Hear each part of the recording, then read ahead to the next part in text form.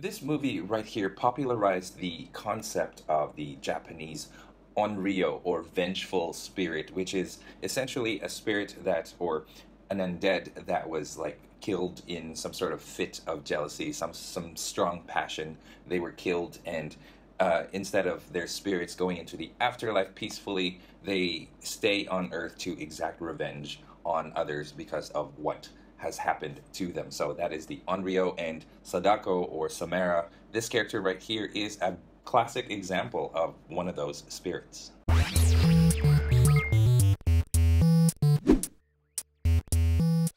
What is going on Draw 2 crew? Ramny here with a brand new drawing tutorial for you guys and today I'm going to be showing you how to draw, depending on how you look at it, either Samara Morgan or Sadako Yamamura from the Ring or Ringu. In this channel, I do a lot of step-by-step -step drawing tutorial videos of your favorite characters, so if you guys like what you see, uh, make sure to hit that subscribe button down below as well as that notification bell, and don't forget to like this video as well. I'm not huge on slasher horror movies or movies that have too much gore on them. Uh, the horror movies that I prefer are the ones that are uh, have a little bit of mystery to them, some supernatural, that kind of thing. So The Ring, The Ringu are, is definitely one of my favorite horror horror movies.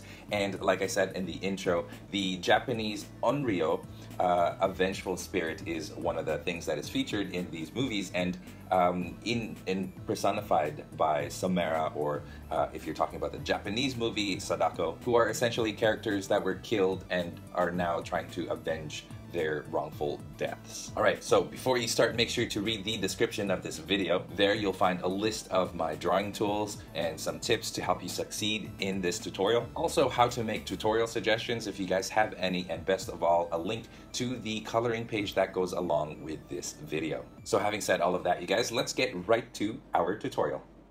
All right, let's get started with our uh, Samara Morgan or Sadako Yamamura tutorial. I've got my paper in portrait mode and we're going to be drawing, uh, believe it or not, we're going to be drawing a TV first and then we're going to draw the TV stand with a VHS or a VCR in the middle. So let's go ahead and do that, you guys. So we're going to be doing uh, a few straight lines going across. Let's do that first. Here's the top of my TV. Now I'm going to do this by, by, by hand. But if you guys want to use a ruler, you go ahead and do that. All you want to do is make sure that the lines are parallel and they are at right angles with each other. Okay, so the TV is going to be not like a widescreen TV. It is an older TV, one of those, uh, uh, what you call it, cath cathode ray tube TVs. And those TVs have a 4 by 3 resolution. In other words, they're, they're a lot more squarish, I guess. They're not the widescreen uh, kind of TVs that we're used to now. Okay, so I'm just roughing out kind of where I want the top and the bottom of that TV to go, and then we're going to draw Samara crawling out of that TV. Okay, so here we've got our lines, and I'm going to draw the center line so that I can kind of get an idea of where or of how to draw the width of the TV. Okay, so I just drew a line going straight down the center. I'm again I'm using um, just my eye and freehanding it. And if you can't do that, if you need practice doing that, uh, you can try, you know, um, using a ruler as well. But what you want to do is you want to just create this rectangle that is almost a square as you draw the, or as you create that TV, you want to make it like this. So this is about the shape of the TV that we want. Okay, once you have that, what I'm going to do is I'm going to erase here and here just to keep things a little bit more clear so that you guys know how I'm going to draw the TV. Okay, there's our TV. I used to have a TV like this, and I'm sure many of you guys did, and maybe some of you guys still do. Okay, so the TV is pretty much done. We're gonna, the corners of the TV are a little bit curved. Actually, here at the bottom, we're gonna fix that up a little bit. Now we're going to draw another couple of corners here. Actually, what I want you guys to do is I want you to draw a line going across from one corner to the other. That way you'll get a good idea of where that center of that TV is going to go and hopefully it all meets right at the center, smack dab at the center where this line goes down. Okay, so now what we're going to do is we're going to draw the actual inside part of that TV And I'm going to draw this one with a bit of a curve because back then TVs were not flat screen. You know, they've, they've got a little bit of a curve to them. So my, mine's got a little bit of a very, very faint curve like this. Okay, I'm going to do that there. Down this way. And then going across right. Actually, what I'm going to do is I'm going to draw it right above here. A little bit higher than normal. So here's normal. But usually these old TVs, they're, they've got all the buttons and all that stuff here at the bottom. So what I'm going to do is I'm going to bring it up slightly higher like this. So here's my TV.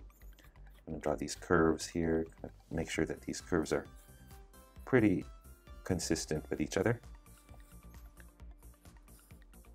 The bottom doesn't matter so much because it will be covered by Samara. Okay, there you go. There is our cathode ray tube TV. I'm going to double up on these lines just to give it that uh, bevel, which is essentially a way of saying it's raised So I'm just going to go all the way across on the outside, just outlining these lines here. And then again, I'm not too worried about the bottom because it will be covered. Okay, there is roughly our television set, our 1990s style television set. There you go. And again, there are buttons over here, but we're not going to worry about those buttons. What we will worry about is the um, TV tray, TV stand, and I'm going to draw a line just underneath here. And hopefully you guys are still keeping your lines, you know, in line with each other, parallel, like parallel like this. It's not crooked or anything. So make sure you get a good idea. Okay, here and here. That's kind of where I want. You see the distance from here to here. You want to make sure it's the same on each side and then bring this line to that center. This is going to be our vanishing point where it's, it's like a reference for our uh, cabinets and all that stuff. So there's the vanishing point right there at that dot. Okay. And vanishing point, it's kind of uh, part of a lesson on perspective. So every time you draw something, um, it all comes down to a point uh, somewhere on the page. And every time you draw something, you always want to make sure that you're drawing lines to the vanishing point. That way it'll look a little bit more, um, a little bit more realistic, okay? Uh, a little, like if, if, you, if you do it, it'll make more sense. And if you don't, there's something off about it, So that's a single point perspective, I guess. So here what I'm doing now is I'm drawing the lower part of this top panel. okay? And then we're going to draw a compartment here. I'm going to draw two lines here, about this far away from the center. And then same thing on this side. Again, I'm just using my eyes here. Going down like this. And like this. Okay?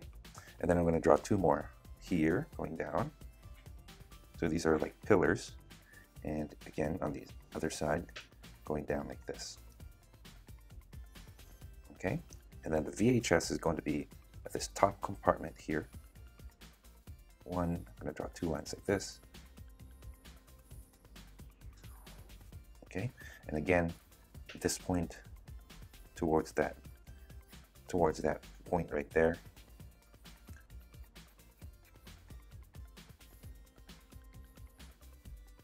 There you go. And then actually what I should have done it we're going to draw the VCR over here, and the VCR is going to be like this um, rectangle within this rectangle. Let's go look like that. There's our VCR right there.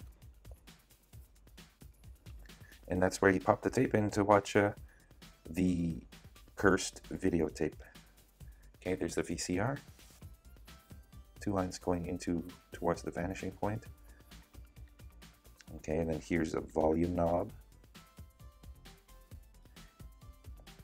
Here's where you pop the VCR. Let me guys know if you still have one of these old technologies in your house. Maybe some of you do, maybe some of you guys don't. Here's where you pop the VCR in. Here is a bunch of buttons like the play, rewind, pause, fast forward, record buttons. There you go. And then I'm just going to draw some feet at the bottom here. One and then two right there. Okay. So won't draw the bottom yet. What we'll do is we'll actually start drawing um, the image of the girl, Samara or Sadako, um, coming out of the TV. Okay, so the first thing I want to do is kind of get an idea of where the head is going to go. And it's going to be right around here.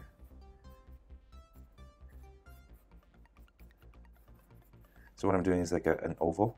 And I'm not too worried about features or anything because it will be covered in hair. So the, the oval is going to be about this far, this much at the top, this much at the bottom, a little bit lower at the bottom actually than the top, like a little bit closer here. Okay, there you go. There's the head. Okay, and then here is the kind of the, the back right there. And then the shoulder is going to come around here. And then it's going to go, the arm is going to go down this way. Okay. So there is our um, person or our character starting to come out of the TV. So now let's kind of draw um, the parts of the parts of the body, that kind of thing. And let's start with the hand. The hand is going to be the closest to us, like she's reaching out. And so what I'm going to do is I'm going to draw um, right here a curve like this first. Actually, bring that down lower. Right there. Okay, this goes down. And then right around here, like that. So it looks like a, a slice of pizza.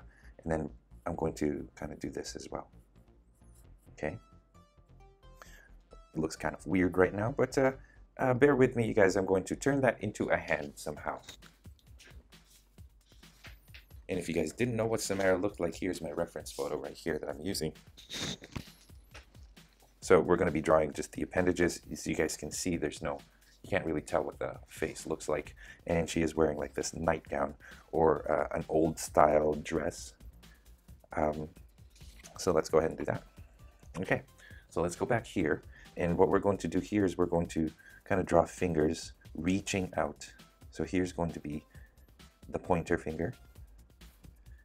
Okay, it's going to look like that. And then here's the middle finger there. Okay, right here is the ring finger. So if you guys look at it like this, it kind of looks weird. And then pinky comes out like this.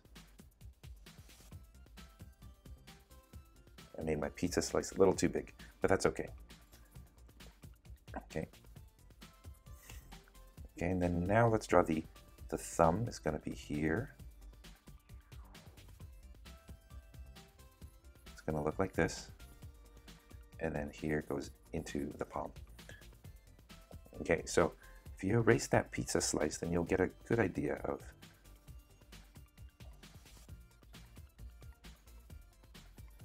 of the hand. And what you want to do is you want to bring this like this now. Okay, so now it looks like the, the hand is reaching out towards you. And I apologize, I did make my pizza slice a little too big. Like what I wanted to do was this pizza slice here. So yeah, adjust it, pause this video if you guys need to, to get that hand uh, as, as, as right as possible.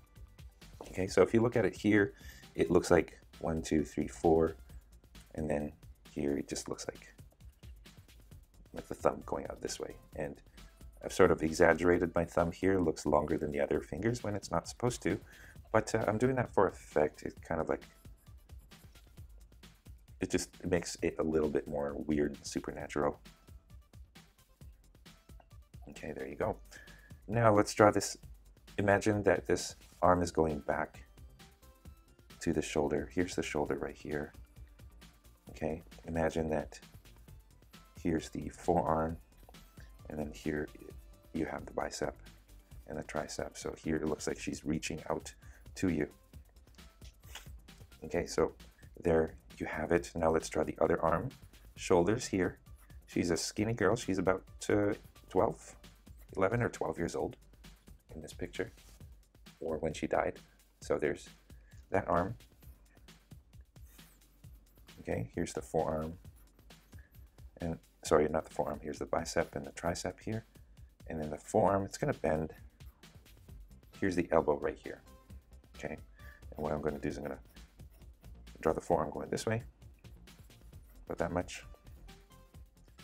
Okay, and then I'm going to bend the arm so that it looks like this. Okay, so it looks like it changes direction right here. If I erase this, then you'll get a better idea of what I mean. Okay, close that off. And now what I want to do is draw four fingers, starting with this one.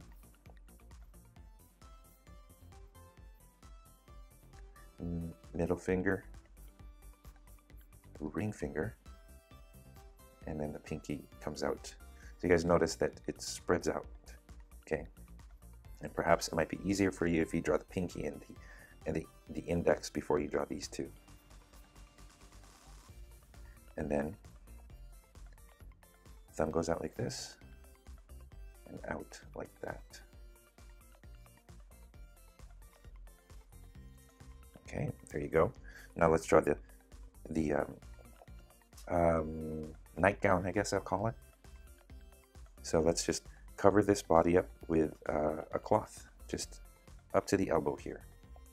And it's tattered. And I'm going to draw it going across like this. Okay. You see the elbow exposed? There you go. So I drew the opening of that. And it looks like that. Now I'm going to draw the hair. Let's cover that round egg shape with just hair that goes down. This is all going to be covering his her head here. Fairly straight. You see like little bits kind of going like this and it's supposed to be wet and you want to cover it going all the way down to here covering the VCR. And what I'm going to do is I'm going to create like a bit of an anime hair effect.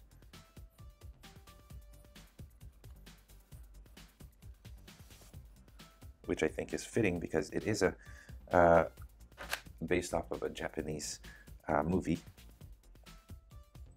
So if you just hide that and just start kind of individually well, not individually, just start drawing those strands hair or just where the hair kind of goes up and down.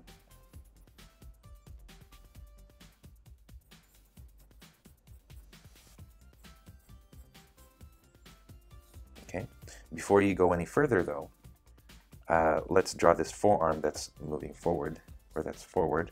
It's supposed to be in front of the hair, so here's our forearm and then I'm going to draw the sleeve all tattered and everything right here.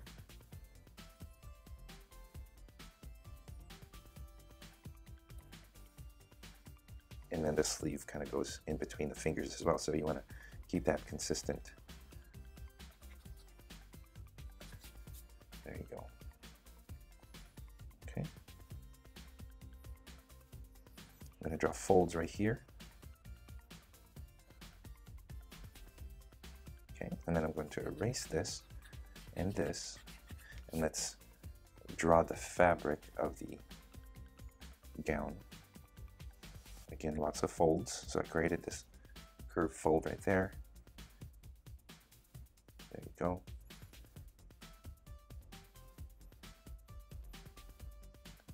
Folds here. Right here I'm to draw some folds as well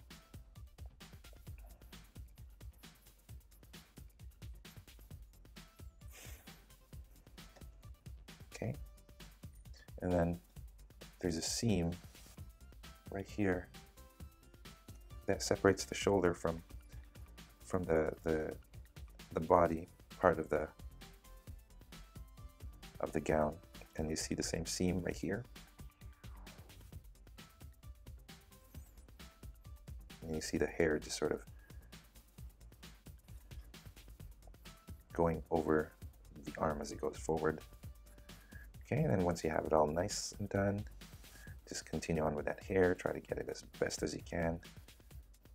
When you ink it, that's when you kind of want to draw the hair and the, uh, what do you call it, these streaks in the hair.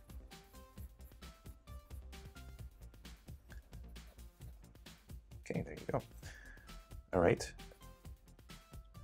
That's creeping me out as well. Looking good. Okay, so once you have that, you can erase the parts of the TV now that's covered and the VCR as well. Okay, um, right here, let's add some buttons to the TV. I'm gonna make my buttons like this.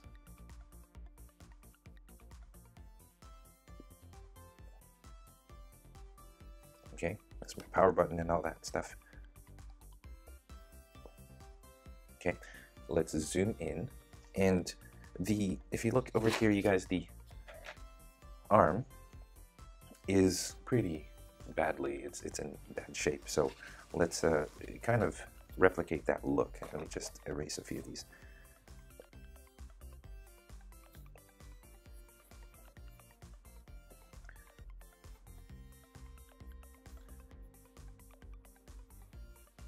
So I'm just going to draw spots like this.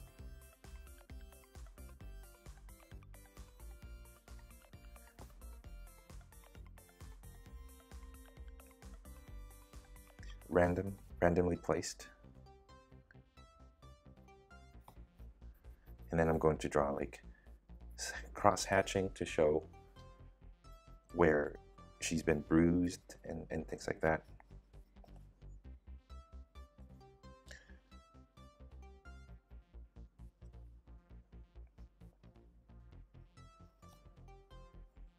You can draw fingernails if you want to.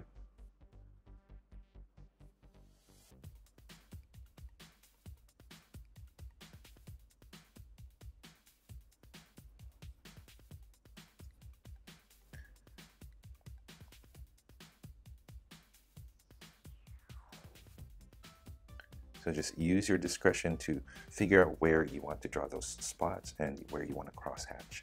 Just give that arm give both arms that dirtied look, like it's it's been through.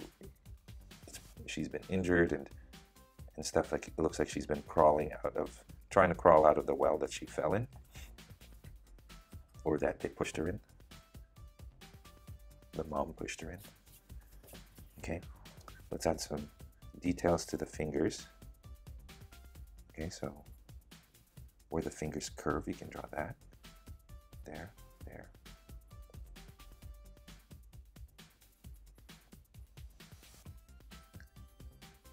here. Not going across like that.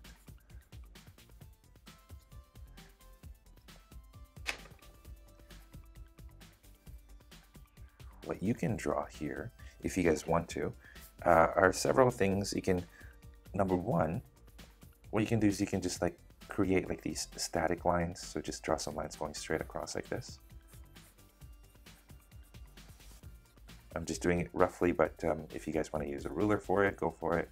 So those are just static lines of the TV. Then you see, um, if you guys also want, you can draw the well that she crawled out of in the back, which is where you get the title of the movie. The ring is the ring right here around the well. When they closed it shut, it sort of created like this eclipse shape that looked like a ring. Can draw that, you can draw some trees if you guys want to.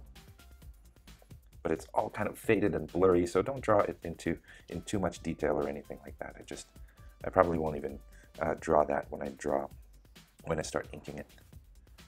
Okay, there you go. Pretty much done. Okay, so let's draw some dripping marks because she is soaking wet. She just crawled out of that well. So you want to create like drips from her fingers going down. And right here, you can either, depending on how tall you make the, the TV stand, you can either have her touching the floor by now or still mid-air, and that's completely fine. It all depends on where you draw this. And I'm going to draw mine right here. So I'm going to draw the bottom part here.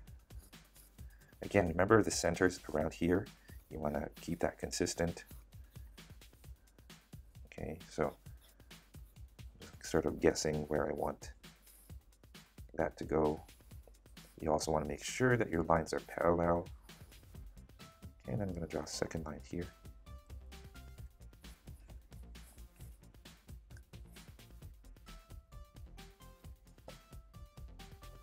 Here's the lower panel, or the, the bottom part. And then right here, I'm going to close this off by creating these curves for the pillars. There you go. And I would probably just draw a line here. If you guys want to add like, you know, VHS tapes or, or DVDs along here, feel free to do that as well. Okay. There you go. So what I would do now is I would create a puddle of water just around here where she's crawling out of. And then, yeah, just have, have her soaking wet coming out of the TV. There you go. So zooming out, there you have Samara Morgan or uh, Sadako Yamamura from either the Ringu, which is the original Japanese movie, or The Ring, the American remake of the movie. Both of them, I say, are pretty good. Uh, I find the the Ring, the the American version, that was the movie I watched first, so that one was the one that creeped me out more. And yeah, let me know what you guys think of this and the movie as well. I'd love to hear your thoughts on which one is better, Ringu, the original, or the remake. And uh, that's it. So thank you so much for watching, you guys. I hope you guys were successful in your um, drawing. And uh, I will catch you in the next one. Take care and have fun. And that is all the time that we have today. Thank you so much for watching all the way to the very end of this video. I hope your drawings turned out great. If they did, I would love to see them. So please head on over to the Google Plus community, post your artwork there for people to enjoy, or post it on Instagram and tag me at draw2 so that I can see your artwork. If you are curious about the equipment that I use to make my videos or to do my tutorials, I have a list of that in the description of this video, so make sure to check that out there. I have a list of pencils that I use, camera equipment, uh, erasers, colors, and all that stuff. So definitely check it out if you are interested. If you guys did enjoy this tutorial, it would help me a great deal if you, number one, like this video, comment it down below, share this with your friends in social media, and of course, subscribe. All of that in the description of this video. Make sure to check that out. And speaking of social media, don't forget you guys can find me on Facebook, on Instagram, Google+, and most importantly on my website, draw2.com, where you can download a free coloring page of this tutorial right here. Links again in the description, so always make sure to read that description, you guys. And once again, thank you so much for watching this video. I will catch you in the next one, and till then, stay tuned for more so you can learn to draw too. Take care.